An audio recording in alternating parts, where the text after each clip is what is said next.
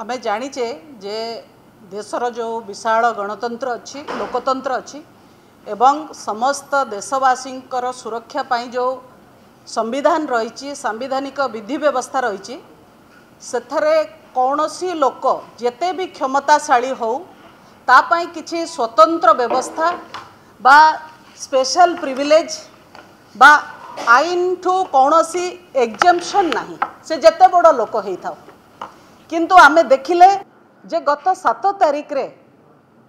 ପୁରୀର ରାଜଭବନଠାରେ ର- ରାଜ୍ୟପାଳଙ୍କର ଯେଉଁ ପ୍ରପର୍ଟି ରହିଛି ଯେଉଁ ତାଙ୍କର ଅ, ବାସଭବନଠାରେ ଆଉ ସେଇ ସମୟରେ ଯେତେବେଳେ ଦେଶର ମହାମହିମ ରାଷ୍ଟ୍ରପତି ଓଡ଼ିଶାରେ ଉପସ୍ଥିତ ରହିଛନ୍ତି ସେ ସମୟରେ ରାଜ୍ୟପାଳଙ୍କର ପୁଅ ଯିଏ ଜଣେ ଅଣ ଓଡ଼ିଆ ଝାଡ଼ଖଣ୍ଡର ଲୋକ ସିଏ ରାଜ୍ୟପାଳଙ୍କର ଅଫିସରେ ରାଜଭବନରେ କାର୍ଯ୍ୟରତ ଜଣେ ଓଡ଼ିଶା ସରକାରଙ୍କର ଅଧିକାରୀ ଏଏସ୍ଙ୍କୁ ତାଙ୍କ ସାଙ୍ଗମାନଙ୍କ ସହ ମିଶି ନିସ୍ତୁକ ମାଡ଼ ମାରିବା ଶାରୀରିକ ନିର୍ଯାତନା ଦେବା ତାଙ୍କୁ ମାନସିକ ଅତ୍ୟାଚାର କରିବା ଅସମ୍ମାନିତ କରିବା ଆତ୍ମସମ୍ମାନକୁ ହାନି ପହଞ୍ଚାଇବା ଜୋତା ଉପରେ ଛେପ ପକେଇକି ତାକୁ ଚାଟିବା ପାଇଁ କି କହିବା ଅଶାଳୀନ ମନ୍ତବ୍ୟ ଦେବା ଏସବୁ ପ୍ରକାରର ଗମ୍ଭୀର ନିର୍ଯାତନା ତାଙ୍କ ଉପରେ ଦେଲେ ଏବଂ ପରବର୍ତ୍ତୀ କାଳରେ ଏଇ ଏଏସ୍ଓ ଜଣକ ଚାରିଆଡ଼େ ବୁଲିକିରି ତାଙ୍କର ଦୁର୍ଦ୍ଦଶାର କଥା ତାଙ୍କ ଉପରେ ହେଇଥିବା ଆକ୍ରମଣର କଥା ଖୋଦ ମୁଖ୍ୟମନ୍ତ୍ରୀଙ୍କଠୁ ଆରମ୍ଭ କରି ମୁଖ୍ୟମନ୍ତ୍ରୀ ଉପମୁଖ୍ୟମନ୍ତ୍ରୀ ରାଜ୍ୟପାଳ ରାଜ୍ୟର ଡି ଜି ପୋଲିସ ପ୍ରଶାସନ କଲେକ୍ଟର ସମସ୍ତଙ୍କ ପାଖରେ କହିଲା ପରେ ମଧ୍ୟ ଆଜି ଯାଏଁ ଦଶ ଦିନ ହେଇଗଲା ଯିଏ ଏ ଘଟଣା ଘଟେଇଲେ ତାଙ୍କ ଉପରେ କୌଣସି କାର୍ଯ୍ୟାନୁଷ୍ଠାନ ଗ୍ରହଣ କରାଗଲା ନାହିଁ ଏବଂ ଯାହା ଉପରେ ଏ ଘଟଣା ଘଟିଲା ଯାହାଙ୍କୁ ଏତେ ନିର୍ଯାତନା ଦିଆଗଲା ତାଙ୍କୁ ମଧ୍ୟ କୌଣସି ପ୍ରକାରର ନ୍ୟାୟ ମିଳିଲା ନାହିଁ ଏଇଟା ଅତ୍ୟନ୍ତ ଦୁର୍ଭାଗ୍ୟଜନକ ଦୁଃଖଦାୟକ ହୃଦୟ ବିଦାରକ ଏବଂ ଯେଉଁ ଓଡ଼ିଆ ଅସ୍ମିତାର ଡିଣ୍ଡିମ ପିଟି ଏ ବିଜେପି ସରକାର ଶାସନକୁ ଆସିଛି ଯେଉଁ ଓଡ଼ିଆ ଅସ୍ମିତାକୁ ମୁଣ୍ଡେଇବାର ନାଟକ ସେମାନେ କରୁଛନ୍ତି ଓଡ଼ିଶାବାସୀଙ୍କ ଆଗରେ ଆଜି ତାର ମୁଖା ଖୋଲିଛି। ଯଦି ପ୍ରକୃତରେ ମୋହନ ସରକାରଙ୍କର ଆନ୍ତରିକତା ଥାଆନ୍ତା ଓଡ଼ିଶାବାସୀଙ୍କୁ ତାଙ୍କର ଅସ୍ମିତାର ଶୀର୍ଷରେ ପହଞ୍ଚାଇବା ପାଇଁ ତାହେଲେ ସେମାନେ ତୁରନ୍ତ ଯିଏ ଦୋଷୀ ତାଙ୍କ ଉପରେ ଦୃଢ଼ କାର୍ଯ୍ୟାନୁଷ୍ଠାନ ନେଇଥାନ୍ତେ। ସବୁଠୁ ଦୁଃଖର କଥା ଏ ପୁରା ଘଟଣା ଭିତରେ ଯେ ସରକାର ଗୋଟେ ମୁହଁରେ କହୁଛନ୍ତି ଓଡ଼ିଆ ଅସ୍ମିତାର କଥା ଏବଂ ଓଡ଼ିଆ କେମିତି ତାର ସମ୍ମାନର ଶୀର୍ଷରେ ପହଞ୍ଚିବ। ଆର ପଟେ ଜଣେ ଅଣ ଓଡ଼ିଆ ଜଣେ ଓଡ଼ିଆଙ୍କୁ ନିସ୍ତୁକ ମାଡ଼ ମାରୁଛନ୍ତି ଏ କଥା ହାଟରେ ପଡ଼ିକି ଦାଣ୍ଡରେ ଗଡ଼ିଲାଣି ଆଜି ଓଡ଼ିଶା ଏ ଘଟଣାକୁ ନେଇକି ସର୍ବଭାରତୀୟ ସ୍ତରରେ ଲଜ୍ଜିତ ହେଉଛି ନିନ୍ଦିତ ହେଉଛି ଗଣମାଧ୍ୟମରେ ଆଜି ଶି- ଅ, ଶିରୋନାମା ପାଲଟିଛି ଏ ଘଟଣା ଏବଂ ଚାରିଆଡ଼େ ଚର୍ଚ୍ଚାର ବିଷୟ ହେଇଛି କିନ୍ତୁ ରାଜ୍ୟ ସରକାର ନୀରବ ରହିବା କେଉଁଠି ନା କେଉଁଠି ତାଙ୍କର ପ୍ରକୃତ ଯେଉଁ ମନସା ରହିଛି ଯେଉଁ କ୍ଷମତା ଲୋଭ ଏ ପଛରେ ରହିଛି ଏବଂ କ୍ଷମତା ପାଇଁ ସେମାନେ କିଛି କରିବେ ଯେଉଁ ହାତରେ ଛେପ ପକାଇଥିବେ ସେଇ ମୁହଁରେ ତାକୁ ଚାଟିବେ ଏଭଳି କାମ ମୋହନ ସରକାର କରୁଛନ୍ତି। ଗୋଟେ ଗଣତନ୍ତ୍ରରେ ଲୋକତନ୍ତ୍ରରେ ଆଇନ ସମସ୍ତଙ୍କ ପାଇଁ ସମାନ ଥାଏ ଏବଂ ଗୋଟିଏ ଆଇନ ଥାଏ ଆମେ ଜାଣିଛୁ। ଯେ ଗରିବ ଲୋକ ପାଇଁ ସାଧାରଣ ଲୋକ ପାଇଁ ଗୋଟେ ଆଇନ ଆଉ ଧନୀ ଲୋକ କ୍ଷମତାଶାଳୀ ଲୋକ ପ୍ରଭାବଶାଳୀ ଲୋକ ପଦପଦବୀରେ ଥିବା ଲୋକ ପାଇଁ ଆଉ ଗୋଟେ ଆଇନ ଏଇଟା ଆମେ କେବେ ଜାଣିନଥିଲୁ ଏଠି ପ୍ରଥମ ଥର ପାଇଁ ଦେଖୁଛୁ। ଗଭର୍ଣ୍ଣରଙ୍କ ପୁଅ ବୋଲି ତାଙ୍କୁ ସାତ ଖୁନ ମାଫ।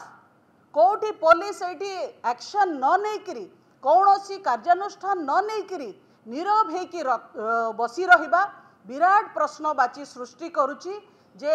ଏଠି ମୋହନ ମାଝୀଙ୍କର ସରକାର ପ୍ରକୃତରେ ଓଡ଼ିଆ ଅସ୍ମିତାକୁ ବଞ୍ଚେଇବା ପାଇଁ ଚେଷ୍ଟା କରୁଛନ୍ତି ନା ଅଣ ଓଡ଼ିଆଙ୍କ ହାତରେ ଓଡ଼ିଆ ଅସ୍ମିତାକୁ ଜୋତା ତଳେ ମାଡ଼ି ମଚି କୁଚଳେଇକି ନଷ୍ଟ କରିବା ପାଇଁକି ଚାହୁଁଛନ୍ତି ଇଏ ହେଉଛି ଆଜିକା ଦିନରେ ସବୁଠୁ ବଡ଼ ପ୍ରଶ୍ନବାଚୀ ମୁଁ ଆପଣମାନଙ୍କ ଆଗରେ କହିବାକୁ ଚାହୁଁଛି ଯେତେବେଳେ ନବୀନ ପଟ୍ଟନାୟକଙ୍କର ସରକାର ଥିଲା ସେତେବେଳେ ଯିଏ ଦୋଷୀ ହେଉଥିଲା ତାକୁ ତୁରନ୍ତ ଦୃଷ୍ଟାନ୍ତମୂଳକ ଆଖିଦୃଶିଆ ଦଣ୍ଡ ମଧ୍ୟ ମିଳୁଥିଲା। ଉଦାହରଣ ସ୍ୱରୂପ ମୁଁ କହିବି ଯେ ପାଟନାଗଡ଼ର ସେତେବେଳର ବିଧାୟକ ସରୋଜ ମେହେର ଯେ ଜଣେ ଜେଇକୁ ଆଉଟ୍ ବସ୍ କରାଇଥିଲେ ତାଙ୍କୁ ତୁରନ୍ତ ଗିରଫ କରାଯାଇଥିଲା। ସେଭଳି ଭାବରେ ପ୍ରଶାନ୍ତ ଜଗଦେବଙ୍କୁ ମଧ୍ୟ ଗିରଫ କରାଯାଇଥିଲା ପ୍ରଦୀପ ପାଣିଗ୍ରାହୀଙ୍କୁ ମଧ୍ୟ ଗିରଫ କରାଯାଇଥିଲା ଏମିତି ଅନେକ ଘଟଣା ଘଟିଥିଲା। କିନ୍ତୁ ଏଇଠି ସରକାର ଦଶ ଦିନ ହେଇଗଲାଣି କୌଣସି କାର୍ଯ୍ୟାନୁଷ୍ଠାନ ନେଉନାହାନ୍ତି। ମୁଁ ଆପଣମାନଙ୍କ ଜରିଆରେ ପଚାରିବା ପାଇଁ ଚାହୁଁଛି ଆଇନ କ'ଣ? ଆଇନ ହେଉଛି ଯିଏ ଦୋଷ କରିଥିବ ସିଏ ଦଣ୍ଡିତ ହେବ ଏବଂ ଯାହା ଉପରେ ଦୋଷ ହେଇଥିବ ତାକୁ ନ୍ୟାୟ ମିଳିବ। କିନ୍ତୁ ଏଇଠି ଆଶ୍ଚର୍ଯ୍ୟର କଥା ଯାହା ଉପରେ ଏତେ ନିର୍ଯାତନା ହେଲା ଯାହା ଉପରେ ଏତେ ଘଟଣା ଘଟିଲା ତାଙ୍କୁ ବଦଳି କରାହେଉଛି ଅନ୍ୟ ଜାଗାକୁ ରାଜଭବନରୁ ତାଙ୍କୁ ବିଦା କରାଯାଉଛି। ଏବଂ ଯିଏ ଦୋଷ କଲେ ଯିଏ ଦୋଷ କଲେ ସିଏ ଏବେ ବି କଲର ଟେକିକିରି ବୁଲୁଛନ୍ତି ରାଜ୍ୟପାଳଙ୍କ ପୁଅ ବୋଲି ତାଙ୍କୁ ଇମ୍ୟୁନିଟି ମିଳୁଛି ଆମ ସମ୍ବିଧାନରେ ସେଭଳି ବ୍ୟବସ୍ଥା କିଛି ନାହିଁ ସମ୍ବିଧାନରେ ସେଭଳି ବ୍ୟବସ୍ଥା କିଛି ନାହିଁ ଯେ ରାଜ୍ୟପାଳଙ୍କ ପୁଅ ସାତ ଖୁନ କଲେ ବି ତାଙ୍କୁ ମାଫ ରାଷ୍ଟ୍ରପତିଙ୍କ ପୁଅ ସିଏ ସାତ ଖୁନ କଲେ ତାକୁ ମାଫ ସେଭଳି କିଛି ବ୍ୟବସ୍ଥା ନାହିଁ ସମସ୍ତେ ସମାନ ଆଇନ ଆଖିରେ ଏ ଦେଶରେ ସମସ୍ତେ ସମାନ ତାହେଲେ କ'ଣ ପାଇଁକି ଏବେ ଯାଙ୍କେ ରାଜ୍ୟପାଳଙ୍କ ପୁଅ ଯିଏ ଆମେ ଗଣମାଧ୍ୟମରେ ବି ଦେଖୁଛେ ଆମେ ସେ ଏଏସ୍ଓଙ୍କ ମନ୍ତବ୍ୟ ବକ୍ତବ୍ୟ ବି ଶୁଣୁଛେ କେଉଁଭଳି ଭାବରେ ତାଙ୍କର ସେ ଖଣ୍ଡିଆ ଦଣ୍ଡିଆ ହେଇଛନ୍ତି ସିଏ ଡାକ୍ତରଖାନାରେ ବି ପଡ଼ିଥିଲେ ତାଙ୍କ ଧର୍ମପତ୍ନୀ କହୁଛନ୍ତି ମୋ ସ୍ୱାମୀଙ୍କର ଜୀବନକୁ ବିପଦ ଅଛି ତାଙ୍କୁ ମାରି ଦିଆଯାଇପାରେ। ଏଭଳି ସାଂଘାତିକ ଅବସ୍ଥାରେ ସେ ଏଏସ୍ଓଙ୍କୁ ସୁରକ୍ଷା ଦେବା ଜାଗାରେ ଏଇଠି ସ୍ପଷ୍ଟ ମୋହନ ମାଝୀଙ୍କର ସରକାର ରାଜ୍ୟପାଳଙ୍କ ପୁଅ ଯିଏ ଦୋଷୀ ତାକୁ ସୁରକ୍ଷା ଦେଉଛନ୍ତି ତେଣୁ ସରକାର ସ୍ପଷ୍ଟ କରନ୍ତୁ ତାଙ୍କର ଆଭିମୁଖ୍ୟ କ'ଣ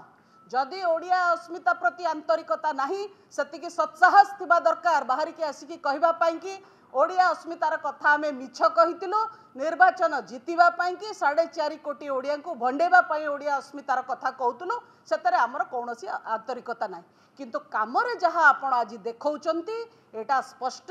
ଯେ ଓଡ଼ିଆ ଅସ୍ମିତା ପାଇଁ ଆପଣଙ୍କର ଆନ୍ତରିକତା ନାହିଁ। ଯଦି ଅଛି ତାହେଲେ ମୋହନ ମାଝୀଙ୍କର ସରକାର ତୁରନ୍ତ ରାଜ୍ୟପାଳଙ୍କ ପୁଅକୁ ଗିରଫ କରନ୍ତୁ ଯାହା ଯେକୌଣସି ସାଧାରଣ ଲୋକ ଏଇ ଘଟଣା ଘଟେଇଥାନ୍ତା ତାକୁ ଆପଣ ଆରେଷ୍ଟ କରିଥାନ୍ତେ। ମୁଁ ଆପଣମାନଙ୍କୁ ଆପଣମାନଙ୍କ ଜରିଆରେ ଗଣମାଧ୍ୟମ ଜରିଆରେ ସାଢ଼େ ଚାରି କୋଟି ଓଡ଼ିଆଙ୍କୁ ଏ ପ୍ରଶ୍ନ ପଚାରିବାକୁ ଚାହୁଁଛି। ଯଦି ଆଜି ଆପଣ ଏ କାମ କରିଥାନ୍ତେ ଏ କାଣ୍ଡ କରିଥାନ୍ତେ ଜଣଙ୍କୁ ନିସ୍ତୁକ ମାଡ଼ ମାରି ଜୋତାରେ ଛେପ ପକେଇ ତାକୁ ଚାଟିବା ପାଇଁ କହିଥାନ୍ତେ ତାକୁ ସବୁ ପ୍ରକାର ଅଶାଳୀନ ଗାଳି ଦେଇଥାନ୍ତେ ତାହେଲେ ପୋଲିସ ଆପଣଙ୍କ ଘରକୁ ଆସିଥାନ୍ତା ନା ନାହିଁ? ଆପଣଙ୍କୁ ଗିରଫ କରିଥାନ୍ତା ନା ନାହିଁ ଆପଣଙ୍କୁ ଆଇନ ସମ୍ମତ ଦଣ୍ଡ ଦେଇଥାନ୍ତା ନା ନାହିଁ ତାହେଲେ ରାଜ୍ୟପାଳଙ୍କ ପୁଅକୁ କ'ଣ ପାଇଁକି ସୁରକ୍ଷା ଦିଆଯାଉଛି କ'ଣ ପାଇଁ ତାଙ୍କୁ ସ୍ପେଶାଲ ପ୍ରିଭିଲେଜ ଦିଆଯାଉଛି ଆଉ କେଉଁ ଆଇନ ବଳରେ ତାଙ୍କୁ ସ୍ପେଶାଲ ପ୍ରିଭିଲେଜ ଦିଆଯାଉଛି ସମ୍ବିଧାନର କେଉଁ ଧାରାରେ ଲେଖା ହେଇଛି ଯେ ରାଜ୍ୟପାଳଙ୍କ ପୁଅ ଯାହା କଲେ ବି ତାଙ୍କୁ ଛଡ଼ାଯିବ କେବେ ବି ଛଡ଼ାଯିବ ନାହିଁ ଇଏ ହେଉଛି ଦେଶର ଗଣତନ୍ତ୍ର ଗଣତନ୍ତ୍ରରେ ଆଇନ ଗୋଟିଏ। ସିଏ ଯିଏ ବି ହଉ ତା ପାଇଁ ଆଇନ ଗୋଟିଏ। ତେଣୁକରି ଯଦି ଇଏ ନ କରାଯାଉଛି ତାହେଲେ ଆଗାମୀ ଦିନରେ ବିଜୁ ଜନତା ଦଳ ରାସ୍ତାରେ ବସିବ ଗଭର୍ଣ୍ଣର ହାଉସ୍ ସାମ୍ନାରେ ରାଜଭବନ ସାମ୍ନାରେ ବସିବ ଏବଂ ଆନ୍ଦୋଳନ କରିବ। ସାଢ଼େ ଚାରି କୋଟି ଓଡ଼ିଆଙ୍କୁ ପ୍ରକୃତ ଅସ୍ମିତାର କଥା କହି ଜାଗ୍ରତ କରିବା। ବହୁତ ବହୁତ ଧନ୍ୟବାଦ।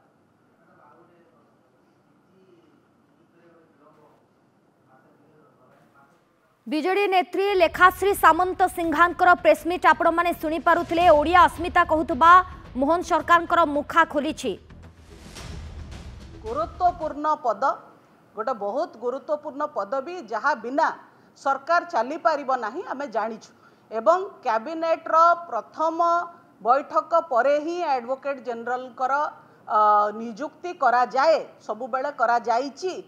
ରାଜ୍ୟ ସରକାର କି ରାଜନୀତି କରୁଛନ୍ତି ଆମେ ଜାଣିନାହୁଁ ଆମେ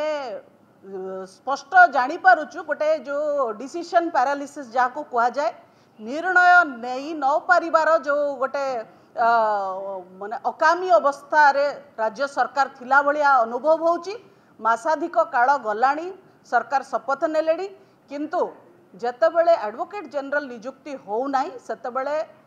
ରାଜ୍ୟର କ୍ଷତି ହେଉଛି ରାଜ୍ୟବାସୀଙ୍କର କ୍ଷତି ହେଉଛି ଏବଂ ରାଜ୍ୟବାସୀଙ୍କର ଅ, ପକ୍ଷ ରାଜ୍ୟର ପକ୍ଷ ରଖିବାକୁ କେହି ନାହାନ୍ତି ଏଇଟା ନିଶ୍ଚିତ ଭାବରେ ମୁଁ କହିବି ଗୋଟେ ଯେ ସାମ୍ବିଧାନିକ କ୍ରାଇସିସ୍ ଗୋଟେ କନଷ୍ଟିଟ୍ୟୁସନାଲ କ୍ରାଇସିସ୍ ଏବଂ ପଲିସି ପାରାଲିସିସ୍ ଡିସିସନ୍ ପାରାଲିସିସ୍ ଯେଉଁଟା ରାଜ୍ୟ ସରକାରଙ୍କୁ ହେଇଛି। ତେଣୁ ଜଣାପଡ଼ୁଛି ଯେ ସେମାନେ ସରକାର ଚଲେଇବା ପାଇଁ ପ୍ରସ୍ତୁତ ନାହାନ୍ତି ସରକାର ଚଲେଇବାର ବେ- ବିଧି ବ୍ୟବସ୍ଥା ଜାଣିନାହାନ୍ତି ଆଉ ଅ, ଥତମମ ହେଉଛନ୍ତି? ଠିକ୍ ଅଛି। ଥ୍ୟାଙ୍କ ୟୁ ତୁରନ୍ତ ଦୋଷୀ ବିରୋଧରେ ଦୃଢ଼ କାର୍ଯ୍ୟାନୁଷ୍ଠାନ ଗ୍ରହଣ କରାଯାଉ। ଜଣେ ଅଣ ଓଡ଼ିଆ ଅନ୍ୟ ଜଣେ ଓଡ଼ିଆଙ୍କୁ ମାଡ଼ ମାରିବା ଘଟଣା ନିନ୍ଦନୀୟ ଏବଂ